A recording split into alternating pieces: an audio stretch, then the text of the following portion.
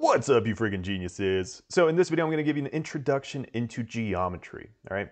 Now, have you ever sat in a class and thought to yourself, when the fuck am I gonna use this? Okay, I'm an engineer, so if you ever plan on going into engineering or construction or anything like that, this stuff is definitely really, really useful. So let's start by covering all this crap right here, all right? Starting with points. Okay, so first of all, points are just what they sound like. They're just a single point, and you normally label them with just a single letter. So something like A or B or D, F, whatever letter you want, all right? Now, lines are just a straight line and they extend in both directions forever, okay?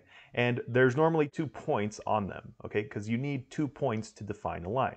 And same thing, you can label these as like A and B, Okay, so if you were asked to name this line right here, there's a few different ways we can do it. Okay, so first of all, you can label it with just a single letter.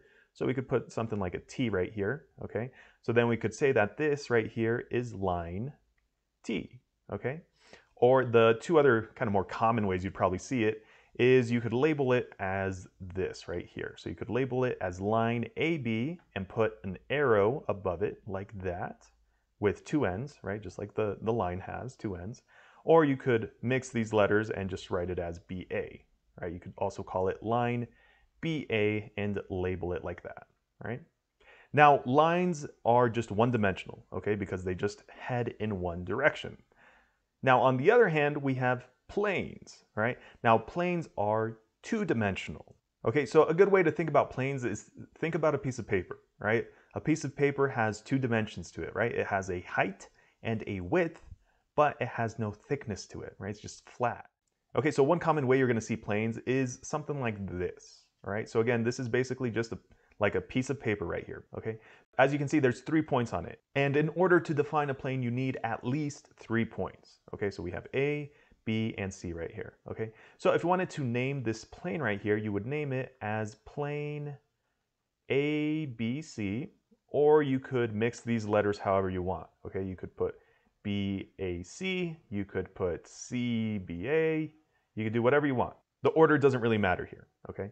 And one other way you could name this plane right here is by calling it plane M, okay? Because as you can see, we have this letter right up here that's basically labeling this plane, okay? So it's kind of like our T over here. So really I should have put this in red probably to make it a little more obvious. So whenever you see a letter that's just on your plane right here, right? We don't have a point, right? There's no point right there. So we know that this is just a label. Okay, so again, that's why we can call this plane M, like that, right? So those are planes. All right, now let's talk about collinear points and coplanar points. So if you think about this part of the word co, what does co mean? Well, think about words like co-host or co-worker or co-op or cooperate, right? It's together, it's working together, right? So these are basically points that are together in a line. Okay, so collinear points, again, are points that are on the same line. Okay, so on the other hand, what do you think coplanar points are? Well, they would be points that are on the same plane, right? Right, we even got the word plane in it, okay? So let's go over a quick example here. Okay, so here we have a plane, as you can see, right? And then we have a couple lines drawn, right? So we have this line right here, basically line M, that is on the plane, right? It's on the piece of paper. And then here we have line N that runs through the plane, right? Through the piece of paper. This is basically like a pencil getting stuck through the piece of paper. Okay, that's what line N is, right? So first of all, talking about collinear points, again, they're points that are on the same line, right? So what points here are collinear? Well, they would be these three points right here, right? S, P, and J, because these three points are on the same line. So we could say S, P, comma, comma, and J are all collinear points, okay? A couple other collinear points would be Q and P, okay, because they are also on the same line right here on line M, N, sorry, on line N, okay? So we can also say Q and P are also collinear. Okay, now what if I asked you what points are not collinear with S, P, and J? Well, it would be this one over here, right? V because V is not on the same line as S, P, and J, okay? So what lines are not collinear with S, P, and J? It would be point V. Okay, also Q is not collinear with S and J, okay? Q is only collinear with P, right? Q is not on the same line as S and J. Okay, now what if I asked you what points are not collinear with point Q?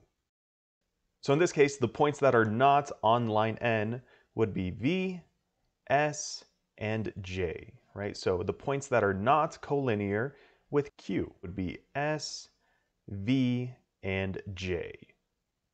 Okay, now let's talk about coplanar points. So remember, they're points on the same plane. Okay, so here what four points are on the same plane? Well, it would be S, P, J, and V. They are all on this plane right here, right?